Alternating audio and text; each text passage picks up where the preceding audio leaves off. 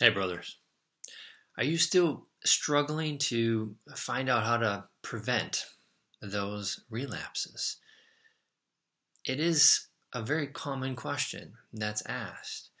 You, you think that you're making progress, you feel good, and then you relapse and you and you question yourself.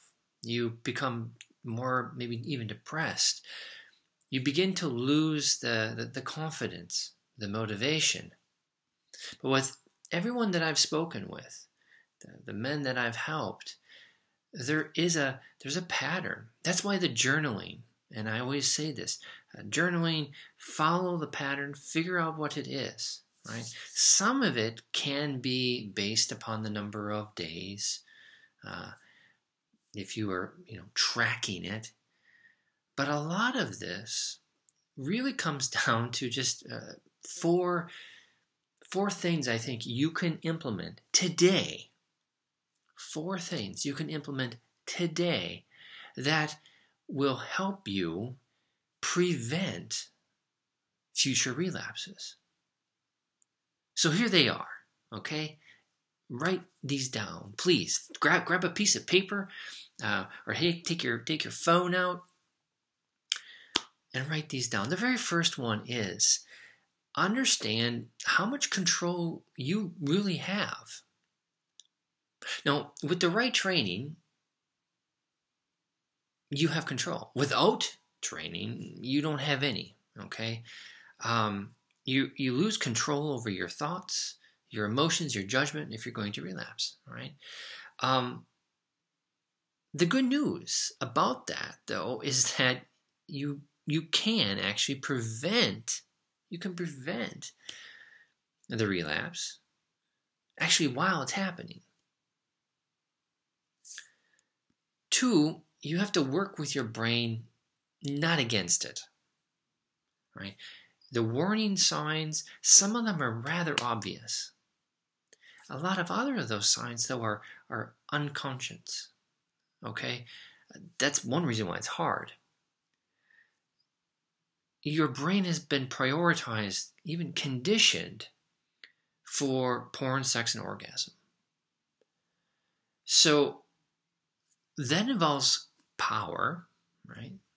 Power to to control. It does go away, but only if you again begin to work with your brain and not against it. Work with it. A simple way to do this is fill out a checklist. If you're already journaling, if you're already tracking, fill out this checklist. Do it once a week. Okay? Once a week. Checklist. Once a week. List the behavior which has led to the relapses in the past. It could be being tired, angry, lonely.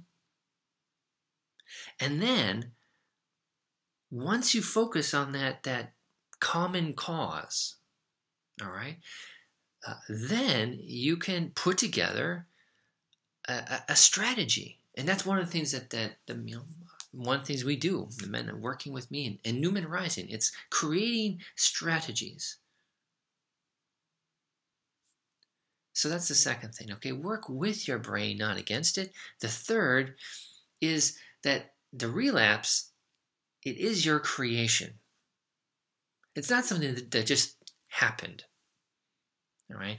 It's a result. You have your values, you have attitudes, you have your behavioral responses to what is happening in your environment around you.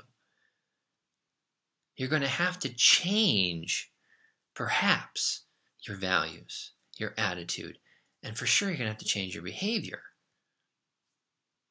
Rewiring the brain. That's why past the reboot, past those, you know, everybody talks about reboot of being 30 days, but there's so much more as part of that. And, and, and the rewiring, which can take, yes, it can take up to a year, can take even beyond a year, is so important. All right. Think of it in a different way. Um, it's a complex situation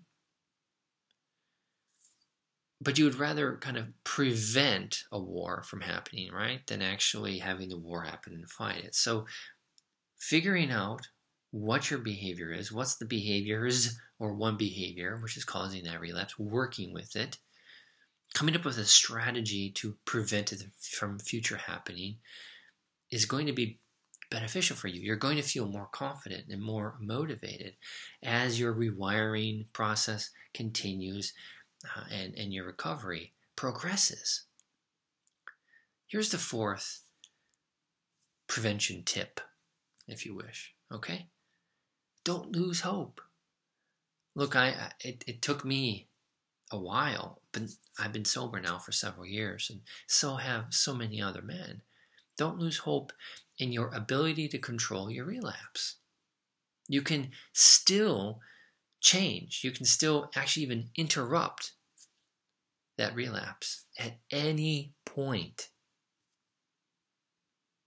It doesn't have to be out of control. It can be interrupted. All right? If this is interesting to you, or if you want to know more, God, I really hope that you do. If you have more questions, leave some comments, DM me directly, let's talk. I want to make you feel that you are making progress. I want to help you be successful in your recovery. I know that you can be, and I look forward to working with you. Remember, your tomorrow begins today. Blessings.